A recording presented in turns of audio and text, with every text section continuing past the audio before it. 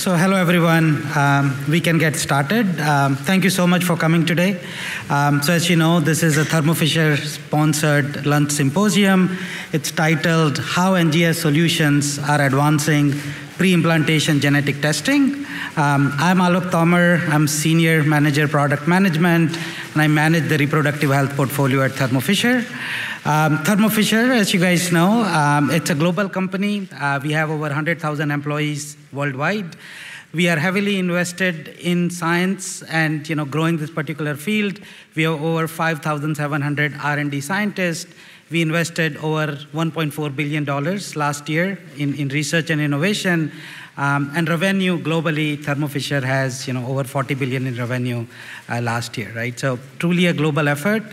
Um, but I'm very pleased to introduce our expert panel here today, and we are extremely thankful uh, that they are participating here uh, on behalf of Thermo Fisher.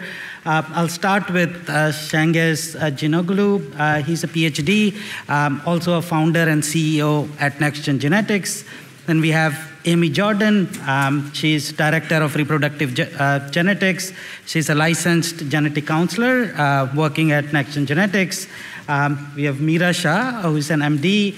Uh, she's reproductive and endocrinology and infertility specialist um, and is with Nova IVF. Um, so, having said that, I'll pass it on to our expert panel. Again, we are extremely thankful for their participation, and I hope you guys uh, enjoy this talk. Thank you, everyone.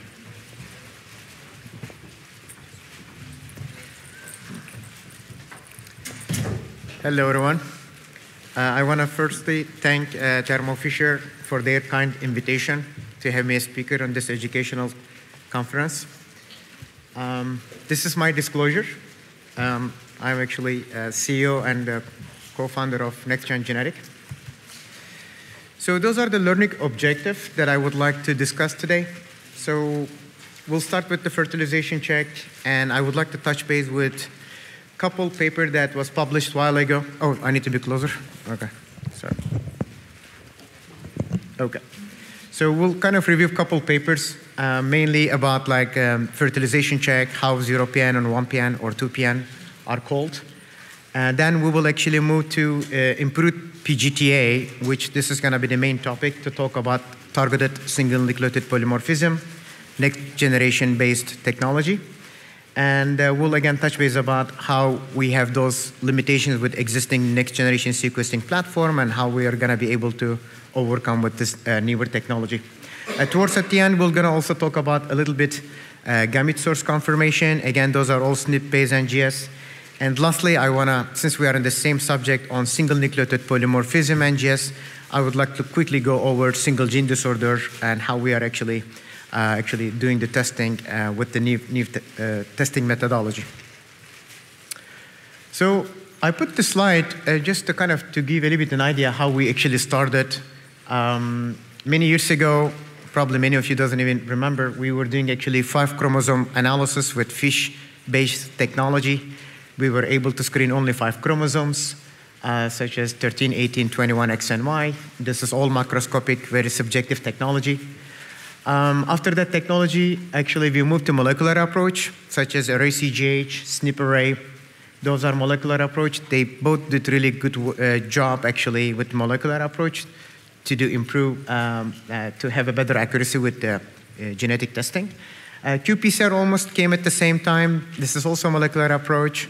I believe they all did good job for a while, but although they were like relatively newer technology, but most of them actually uh, pretty much disappeared and we moved to uh, next generation sequencing.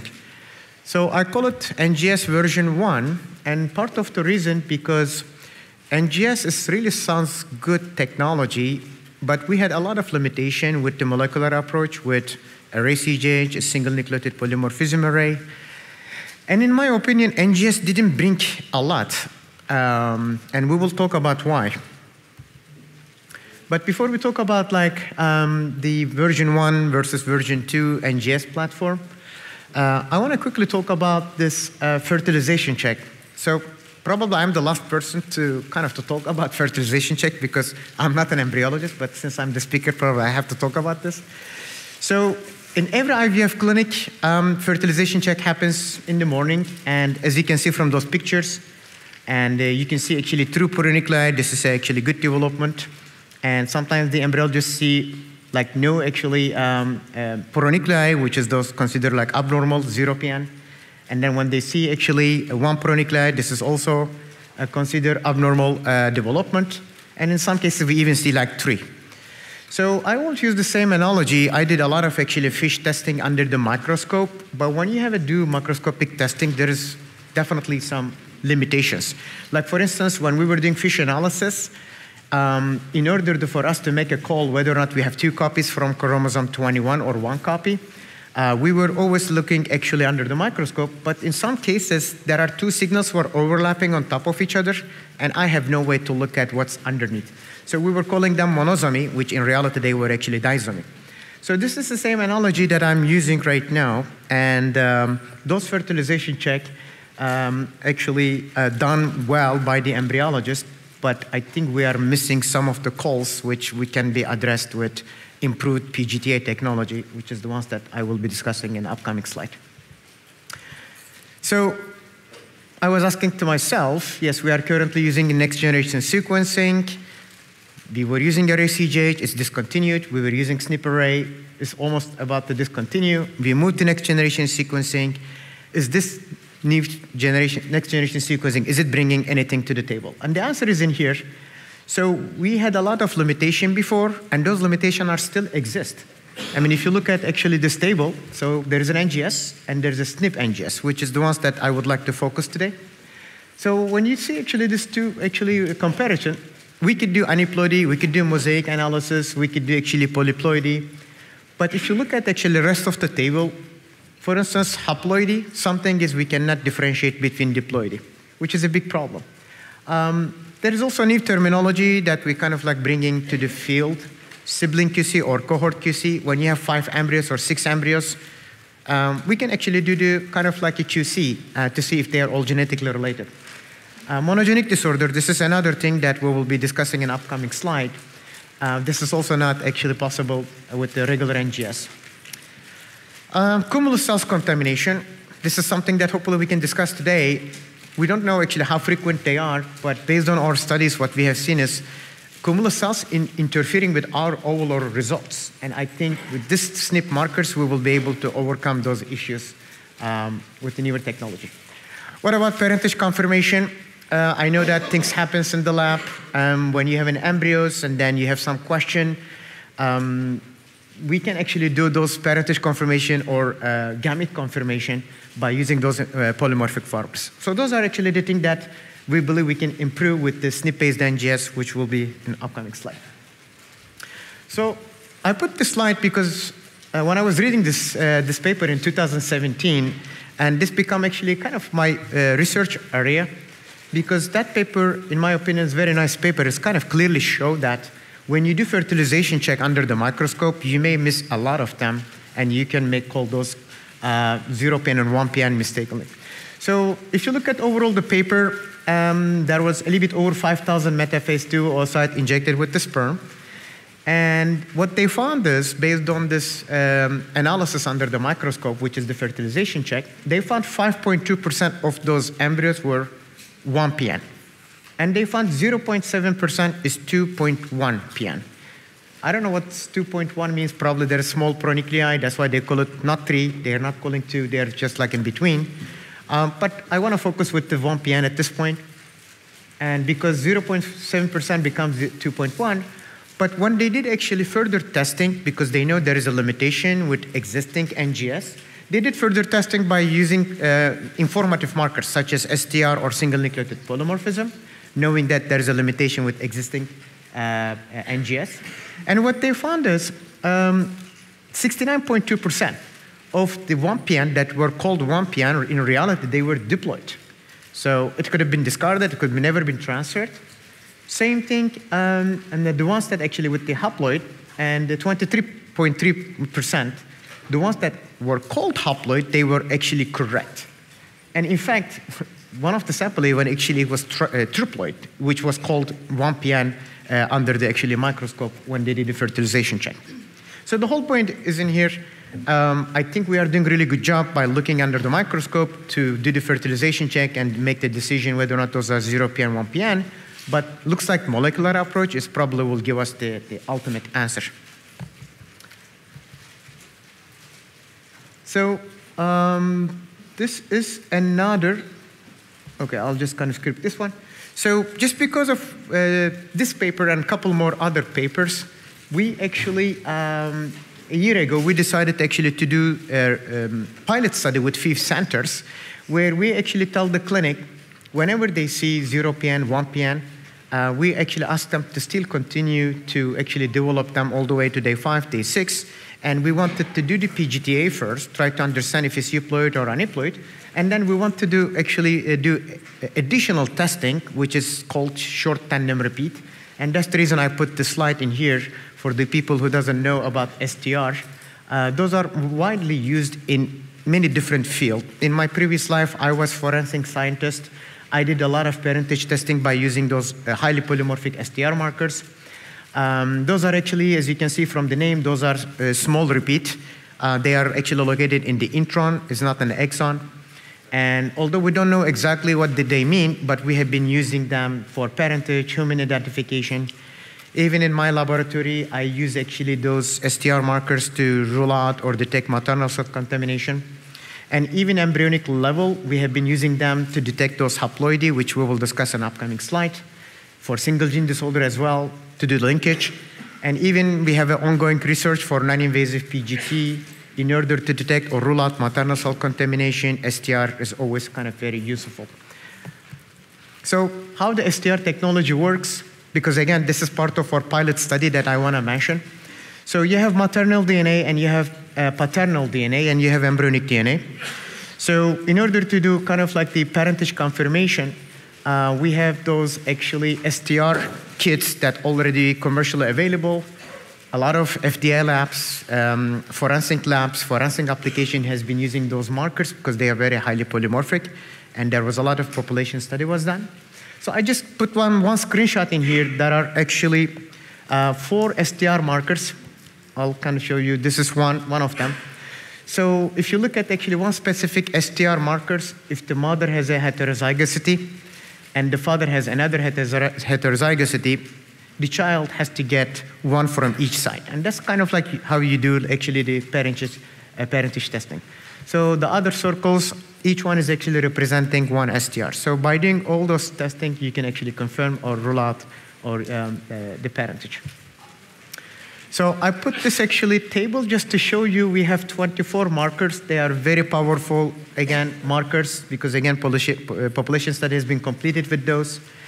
And before even we used for the study, we wanted to validate those STR markers. And, and we actually utilized uh, Coriell cell lines. Those are actually already known karyotype. And we had a family from cystic fibrosis family we take mother and father, we profile them for every single STR markers, and we used actually those same markers for their child to understand actually how those matching help. So if we look at the specific example for that specific STR markers, the mother have 12 and 13 repeats, father has 9, 9 homozygous repeats. And if you look at actually child, 9 is coming from obviously from the father because father is homozygous, and then uh, the 12 is coming from the mother, and uh, that kind of show the matches. So again, if you take another example, um, 16 and 20 is the repeats for the mother and cis heterozygote, and the father actually has a 15 and 16. So if you look at these two child next to each other, the first child get 15 and 20, which is, is get one repeat from each parents. And then uh, the second child happened to get 16 from each side. So again, if you look at all those markers, you can see the match. What about uh, mismatch? So we on purposely uh, mix two different families, try to understand how this technology works. And if you kind of put two different family in the same run, you will see a lot of actually discrepancy.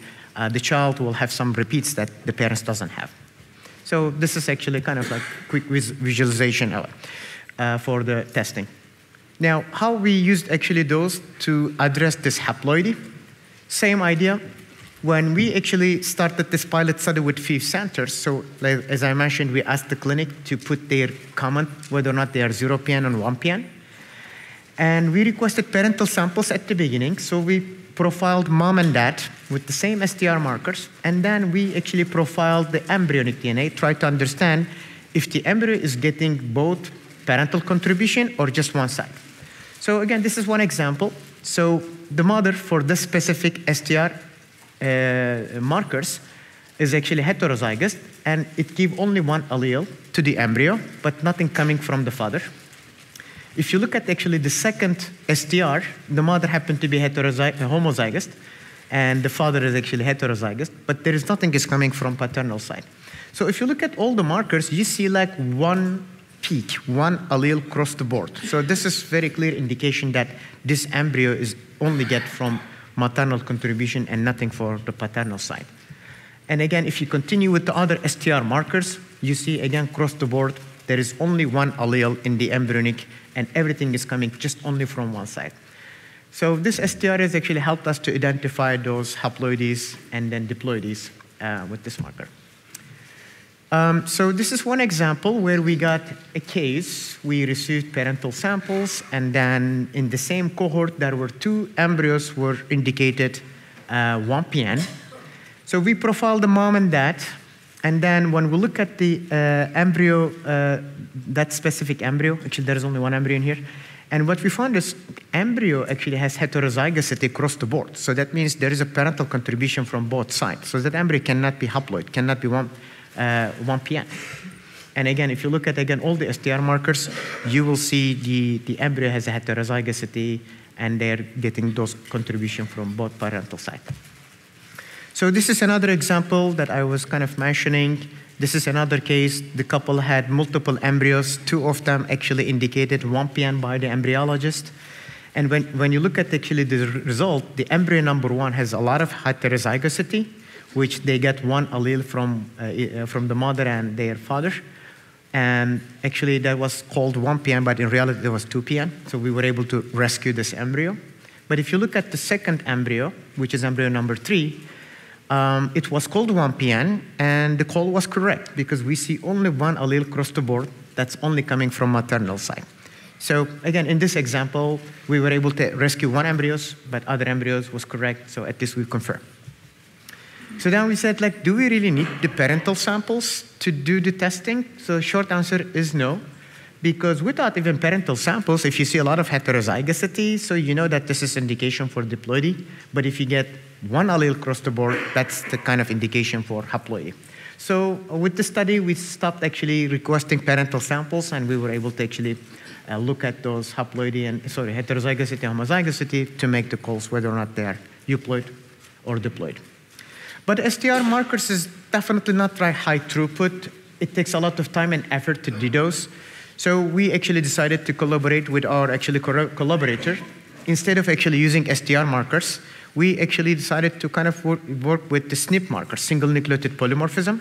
It's pretty much the same idea. They are very highly polymorphic. Um, the reason actually we did not want to use actually STR markers for a lot of the reason, because there, are, there aren't a lot of STR markers in the genome, but there are quite a lot of SNP markers in the whole genome.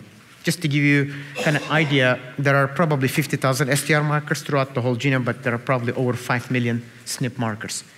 So with our collaboration with Thermo Fisher, actually, we come up with a nice kind of like uh, high throughput model where you can actually put those SNP markers in the assay that you will be able to actually overcome all the limitation that we are facing, such as triploidy is another thing which I didn't talk about too much, uh, but we had a limitation with the 69XXX. It's been called normal, and with regular NGS. So now we are able to actually call all those even uh, triploides as well.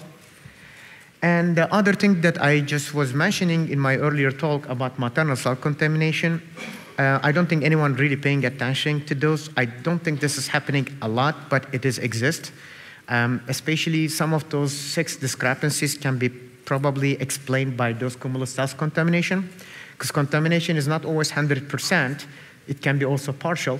So with the SNP, SNP platform, we will be able to see those partial contamination if there is one, and we can actually normalize the data. And when I say normalize the data, I'll just give you an example. Um, recently, um, one of the recent cases that we did, we saw one of the chromosome was looked like high mosaic, with that specific chromosome, which I forgot which chromosome was it. Um, the couple did not have any other option other than specific that high mosaic embryo, so they did the transfer. And unfortunately, they ended up with miscarriage. So we looked at the miscarriage and we found that aneuploidy was fully actually there in the POC. But when we went back and looked at that specific embryo, it turned out that there was like partial contamination. Since the mother doesn't carry those abnormalities, it kind of like showed this is a high mosaic chromosome, which in reality, it was full.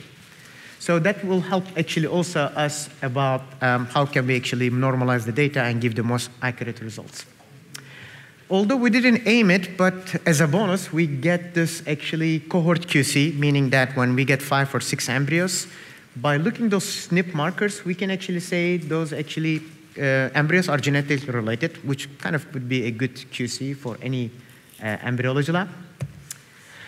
Although we haven't actually kind of like fully actually uh, committed to ourselves for this parentage testing, but uh, near future we will be able to also parentage testing or actually gamete source analysis. If the parental samples is provided, we can compare those SNP markers with the embryonic DNA that we can confirm those uh, gamete source. So basically, this is not my slide, but the summary of this, actually, the whole actually talk is basically we are trying to rescue those 0PN and 1PN and embryos. And in fact, we would like to make the life easier for embryology lab. Can you imagine if you don't have to really do fertilization check?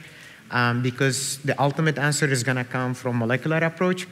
Because um, an upcoming actually talk by Amy and uh, Dr. Shah, um, they will have a kind of some really nice uh, um, outcome data from the clinics uh, and um, how we can rescue those embryos without actually even doing fertilization check because this newer technology will probably help us to get the ultimate answer rather than actually uh, doing those under the microscope. So since we are on the single nucleotide polymorphism NGS topic, I just want to quickly go over single gene disorder uh, because it's very relevant to our discussion. Historically, most of the single gene disorder has been done either by conventional STR testing, STR markers that I just was mentioning earlier for linkage. And there's another assay called um, single nucleotide polymorphism array, and uh, there are a couple actually commercial platform to accommodate those single gene disorders. But the ones that I want to talk about is uh, SNP-based NGS, which is the one that we are currently utilizing. But before jump into our platform, I just want to quickly go over how the linkage testing or the single gene disorder has been handled. Uh, I will I'm going to start actually with the one that has been used, utilized for the longest. Uh, those are actually STR markers, like as I mentioned to you. STR has a lot of actually um, uh, place that has been used in multiple different fields. So if you look at in this example, this is just one part of the chromosome or one part of the genome, mom happened to have those five repeats. Those are actually ACC, ACC, those are in intron. And the second allele for the mom actually has a seven repeats. If you look at that for the same exact region, they have a different copies, actually different repeats, so we just happen to be six and seven. So if you look at an embryonic level, the only combination that you can get is either 5-6, 5-7, or 6-7, or 7-7. Those are the actually only combination. So if you want to really do the analysis on single gene disorder, you use those STR markers to understand which homolog chromosome is transmitted to the embryonic level. And based on those information, you would be able to tell whether or not the embryo is affected or unaffected or healthy. Again, if you kind of like uh, have the DNA, which is the DNA that we do the whole genome amplification from the biopsies, let's assume that we have this order, which is indicated in the red circle. So ideally, we would like to sequence that place to be able to kind of make the calls. But often, those part of the genome may not amplify um, just because we are dealing, de uh, dealing with the whole genome amplification. So when you can actually sequence this actually gap, you need to actually use some linkage markers to understand, again, which homolog chromosome is transmitted from the parents uh, to the, their embryos.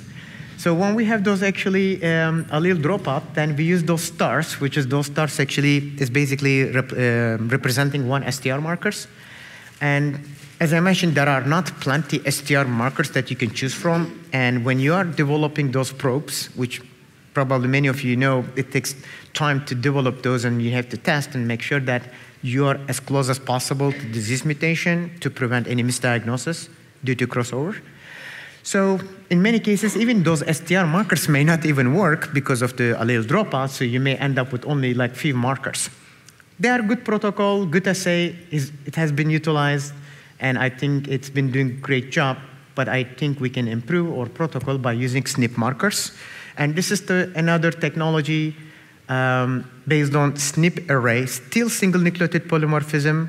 It's unlike STR markers, they are utilizing single nucleotide polymorphism, and I just wanted to give you just one example. This is on array based.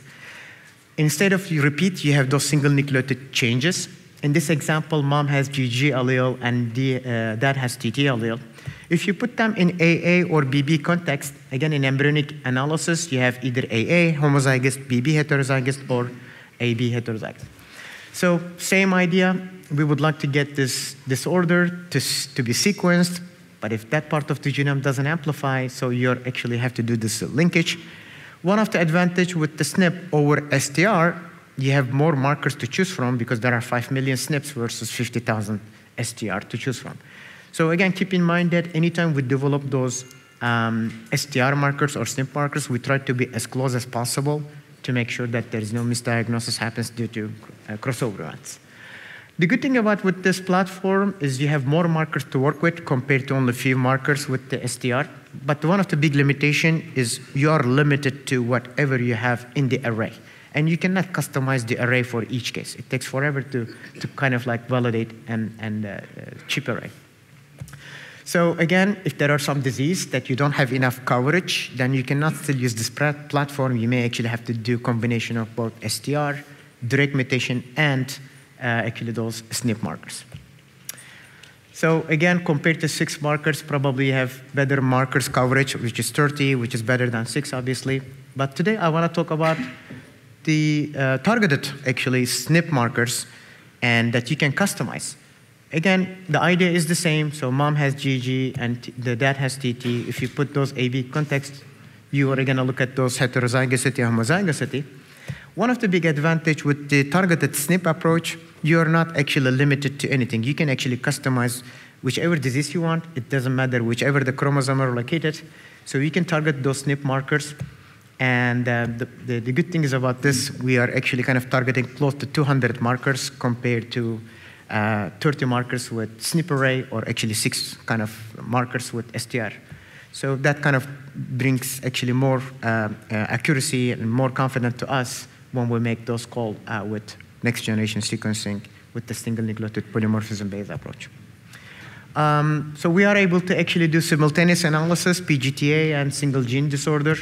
But in some cases, the couple are already in the middle of the cycle. They're realizing that they have some condition. So we can still actually go back and actually look at the samples, purify the samples, and we can still do targeted uh, sequencing to actually address those uh, disease and conditions. This is a kind of an example, uh, the technology that we are utilizing. Uh, this is one example. The case happened to be Lynch syndrome, autosomal dominant. And uh, based on uh, the family history, what we know that um, the male is the carrier and he received actually this condition from her mom. Everything is color coded in here. So as you can see, uh, the female is completely gray because she's not carrying anything for that specific condition. And the male actually has two alleles. The ones with the red, or actually the ones with the uh, yellow, is the ones that are uh, carrying disease, and the blue is the ones that actually the, the allele that doesn't carry. If you look at again mom, and you can see actually this orange is actually transmitted to uh, her son, and now we have six embryos. So when you look at those actually, this is just a small screenshot. Obviously we have like more SNP markers to look at. And if you look at again that specific first embryo, you would see this allele, unaffected allele coming from the mother, and unaffected allele come from the father. So this is healthy embryo. And the second and the third one is also healthy. But if you look at the last three, you will see this uh, oranges is coming from the paternal side, or the yellow one is coming from paternal side. And those are all affected embryos. So based on kind of like doing those uh, informative markers, you would be able to do those linkage markers and make the calls. Again, one of the advantage of using this technology is we are using quite a lot of markers that kind of bring us high confidence to us. And the other uh, good thing about this technology, just because of we are using quite a lot of informative markers, there are some diseases that we see quite often. So those actually uh, markers has been already developed and ready to go. That kind of to shorten the time for probe development that the couple can start the cycle uh, as soon as possible.